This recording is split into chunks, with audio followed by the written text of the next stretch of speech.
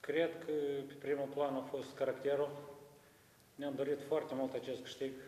Fiecare din băieți, toți care eram pe, pe teren, cât atâta și pe, și pe bancă de rezervă. Sunt nespus de fericit că am câștigat acest meci și sper că în continuare o să ținem la fel.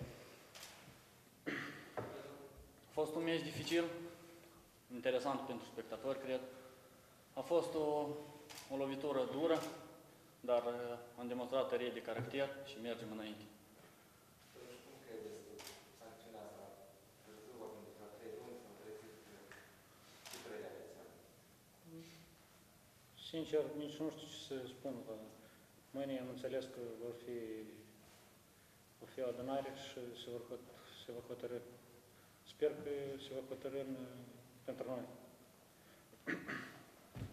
Sper să fie totul spre bine.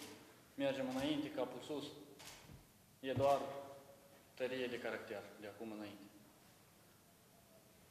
Uh, Petru, o întrebare la tine. A doilea meci la rând pentru Zimbru, ești în, în, în echipa de start.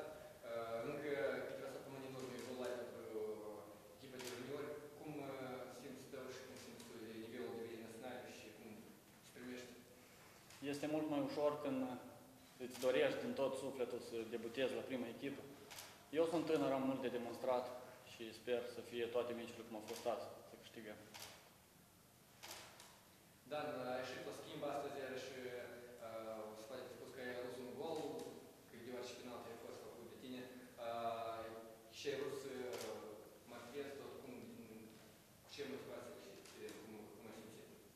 Repet încă o dată, mi-am dorit foarte, foarte mult să, să ies în acest meci. Nu știu, am fost motivat 100%. Și Când vedeam că băieții se luptă, vroiam și eu măcar 5 minute, măcar 10 să ies. să- Și cu ajutorul Dumnezeu am bătut 2-0 și mergem înainte. Nu ai fost motivat să bați penalti? Tu l-ai obținut.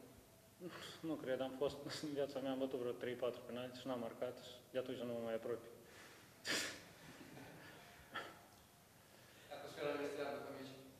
Fantastic.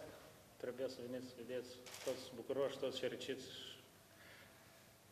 Cred că mai departe va fi doar așa. Și la suporteri ceva de spus, deoarece au venit astăzi de lume tot destul de Da, suporterii au fost destul de, nu știu, nu m-am așteptat într-așa număr să fie la meciul de azi, dar uh, a fost surprins plăcut. Cred că suporterii au fost omul nostru în plus azi în teren și vrem să le mulțumim din suflet.